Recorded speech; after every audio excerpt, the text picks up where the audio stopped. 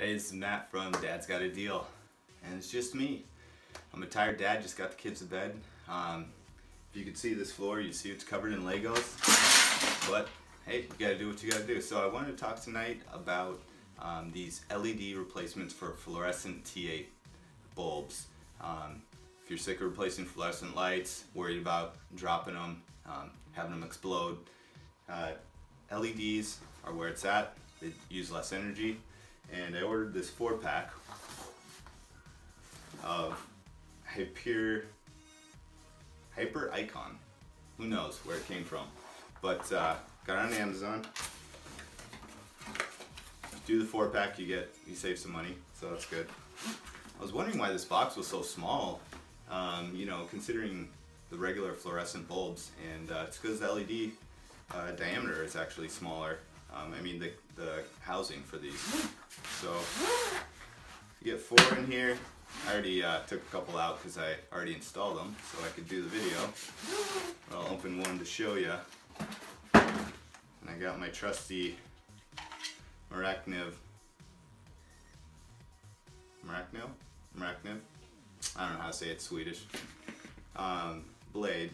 I love it for just taking around the house and opening things because it doesn't have a sharp point, so it's not super dangerous. Uh, these two surfaces are really sharp though.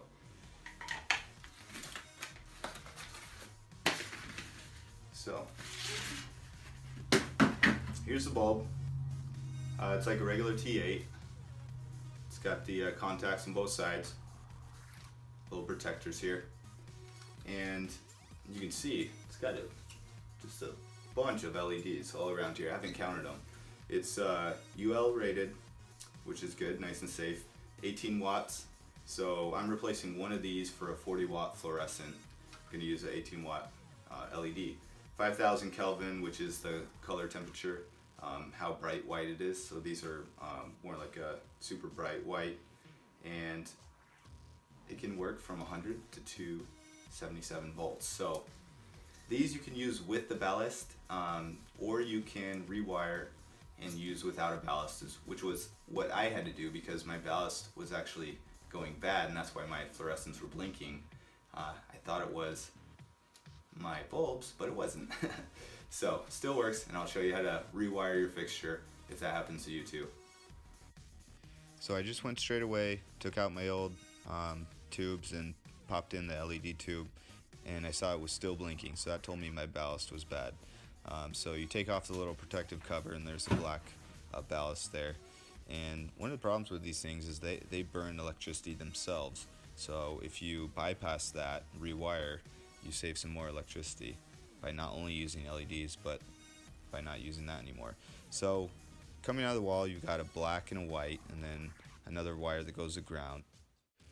There are some instructions that come with the bulbs uh, before you have your ballast and your black and white wires are going into that and then wires are going out to either end of the bulb. Um, now you want to wire it so the black goes to one end of the bulb and the white goes to the other end of the bulb. Very simple.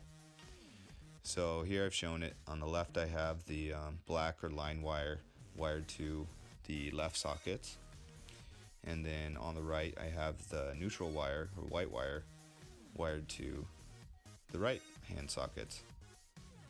Pop the LED bulbs in, turn them on. They come on really fast compared to some fluorescents which take a little bit and blink a little bit as they're coming on. But the clear lenses on this version um, are really cool. I think they could totally stand on their own like this. Maybe if I had a better um, light fixture that wasn't so 70s style with this fake wood on it. But uh, so here's the uh, finished product with the little plastic cover over it and it feels really well. It's a lot of light. Seems like the, it's brighter in my bathroom now than before when I had two 40 watt bulbs, which is 80 watts. Now I only have two 18, 36 watts. Score!